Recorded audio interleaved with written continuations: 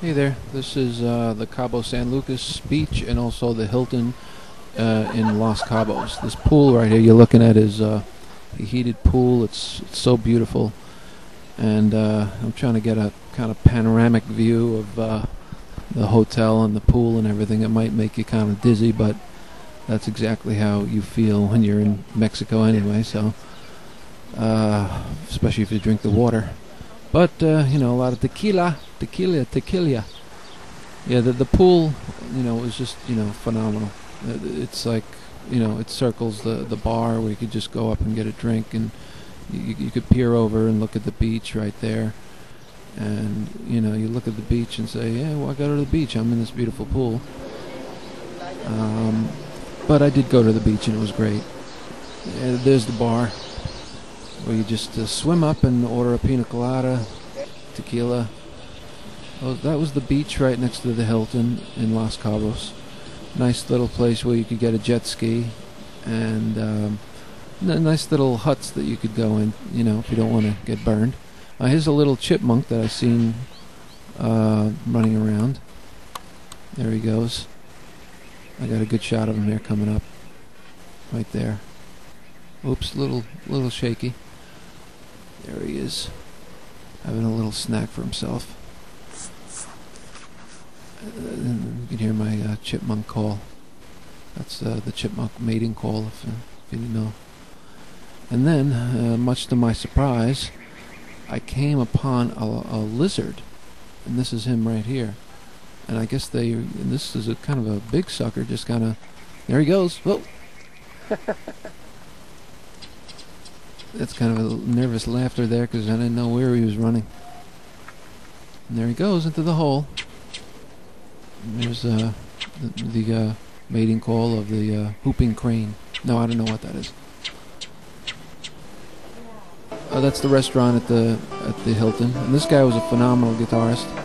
They always have you know great Spanish guitar guys playing, and um, he's just kind of warming up here food there is phenomenal. This is the the deck, uh, the outside deck of the uh, food court. Really nice. Hi. Uh, this I think is uh, might be uh, what they have for for breakfast. I'm not sure, but you can see all the exotic fruit, papaya. You know, you got uh, you know all kinds of bread and fruit, and you know, of course, uh, beautiful senoritas. Buenos días. Buenos días. Bienvenido. All right. Yeah, baby. Bye. Hmm. Bye bye. Yeah, and this uh, was a some kind of video montage. There's the look at the front of the Hilton. They have a nice little fountain there. You know, and right there is the bar. You get a couple drinks. Lots of bars there. Okay, here we are. We're out of the Hilton and we're off to uh, uh, Cabo San Lucas. This crazy place called Squid Roe is really for a young crowd. Uh, I went during the day when there's absolutely almost nobody there except these two people who seem to be lost. You know, I'm sure this is really hopping at night, but when I went, it was dead.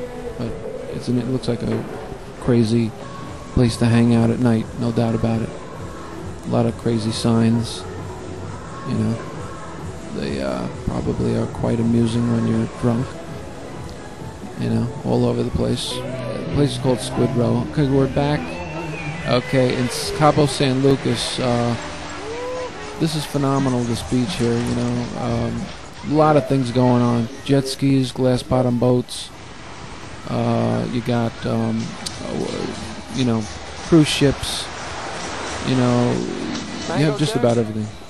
Mango Deck, The office. The Office, yeah, Billygan's. yeah. Billygan's is another place. Get some good drinks.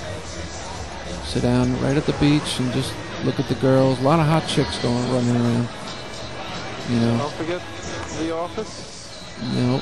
I was in no frame of mind at this at this time. And of course, Mango Deck. I, Oh, yeah, that's me groaning. I was like uh, so hungover. I just just really out of it. This guy this guy drives his jet ski right up to the beach, scares his girlfriend. Ah! Right into the sand. Cool. Yeah, jet skis are about, um, I think about forty-five, maybe yeah, about forty-five dollars. That's a bit much. Maybe not that much, but I think maybe thirty-five dollars. Wow. You get a nice ride, and then, you know, the, you got to go to this beach. This is Cabo San Lucas, baby. Sure is. Yeah, cruise ships around. You know, I was just so so wasted out at this point, just like that. But I, you know, I had a hangover like you wouldn't believe. Uh, I had some of that Mexican water. I think maybe you gotta. I, I, guess you gotta believe what they say about the Mexican water. But uh, you definitely got to make your way over to uh, where they have uh, these three bars: Billygan's, The Office, and um, Mango Deck. Three great clubs right there on the beach. It's it's a party. It's a total party you cannot miss if you go to Cabo San Lucas. This is a little karaoke thing going on. I thought that she was like a professional, but she's just a tourist. She's pretty cute. She's gonna. I think she waved at me. I think she likes me, but you know, I'm taken. So, well, what would Simon say about this girl on American Idol? I don't know. Not bad. Nice long hair.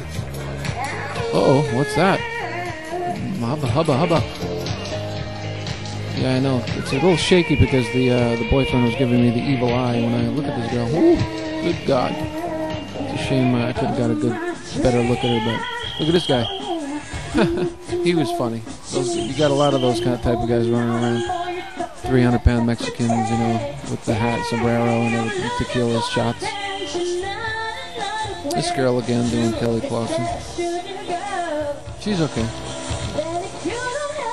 Something to look at when you're having a nice pina colada, sitting down, hanging out, right there. I think it's Mango Deck. I'm, I'm, I think that's where I am at Mango Deck.